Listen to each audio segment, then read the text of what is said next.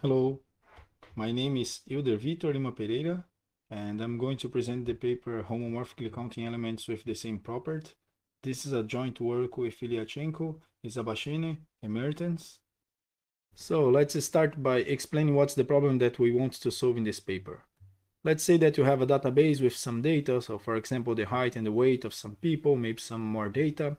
Then you encrypt all this data, so you encrypt the whole database and you send this encrypted database to the server. But now you are interested on the body mass index, so BMI, which is defined as the weight divided by square of the height.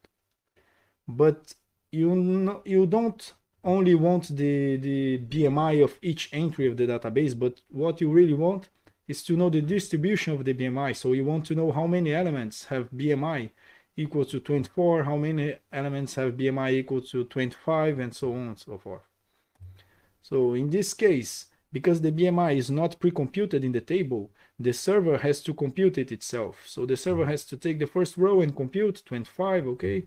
The, the second row, 33, okay? Mm-hmm. And then at the end, the server will have a list like this with the BMI of each row.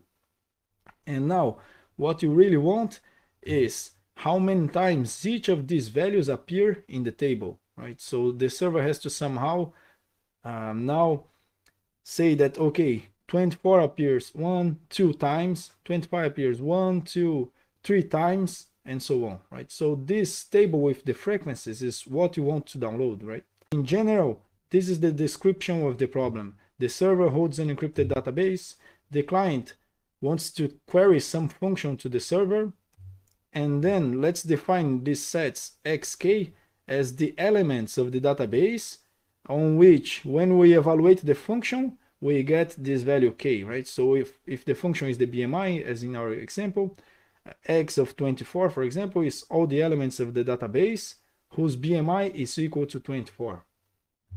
And now the client can query this function and what the, the client wants to receive is ciphertext encrypting the size of each of these sets, right, for all the keys in the image of F.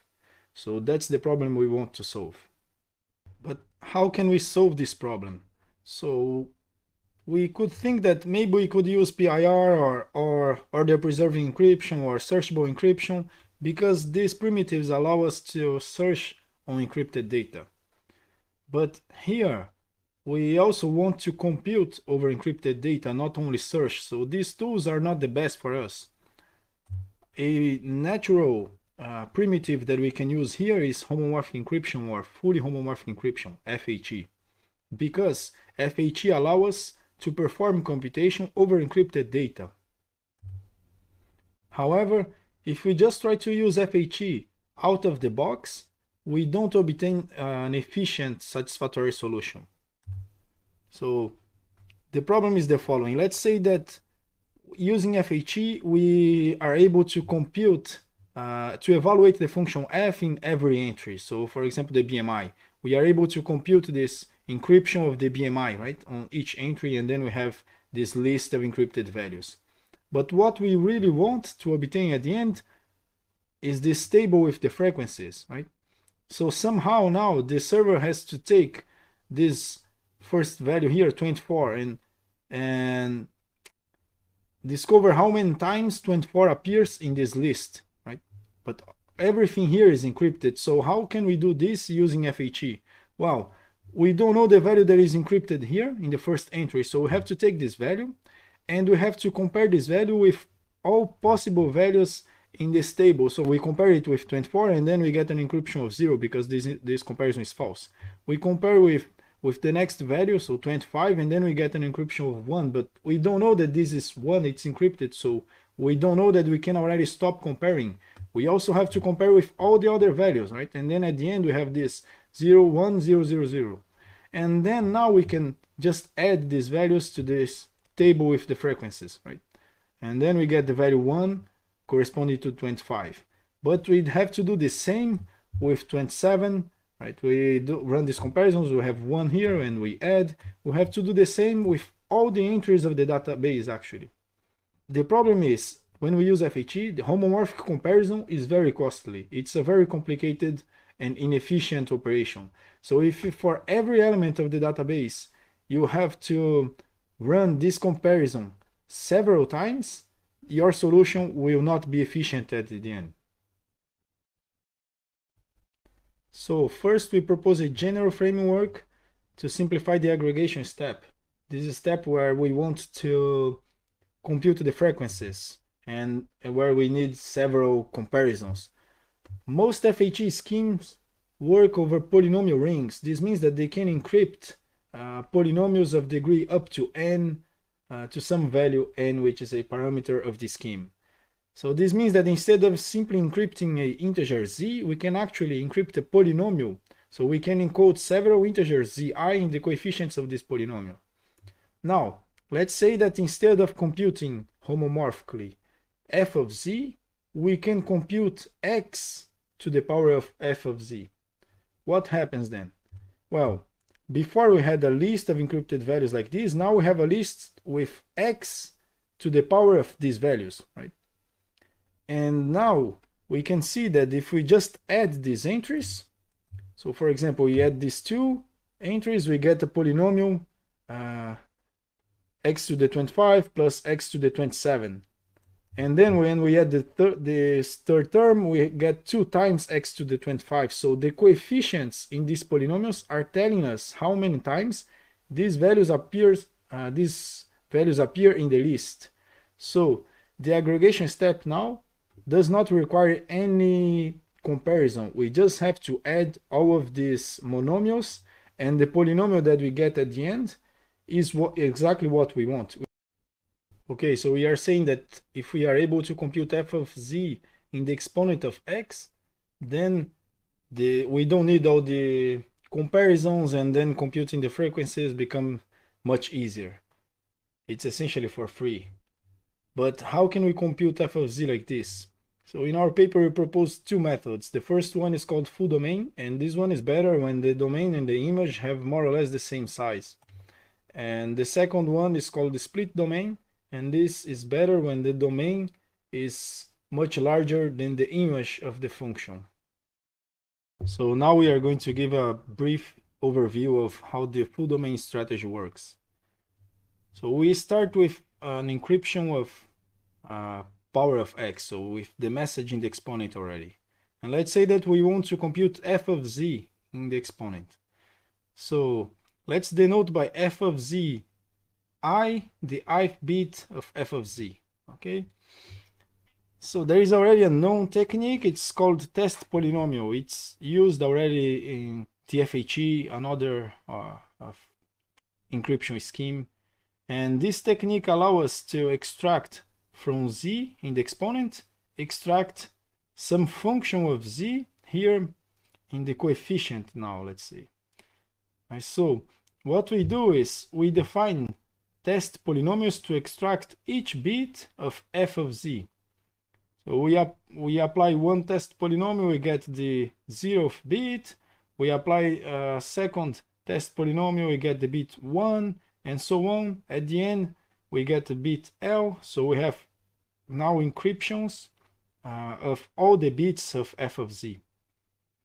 Now, it's important that this is binary because there is another technique which is called CMUX that allow us to lift these bits from here to the exponent again, but when we lift then we can multiply them by any constant that we want. So what we do here, we apply this CMUX technique to lift them by in at the same time we, we multiply them by powers of two. So if this is the bit zero, we multiply by two to the zero, right? Then the next bit is the bit one, we multiply by two to the one, and so on. So now you can see we have all the bits multiplied by the corresponding powers. So to reconstruct f of z, everything we have to do now is to add all these values that are in the exponent, right? But how can we add then? Well, we just have to use the homomorphic multiplication. So we multiply all these values here.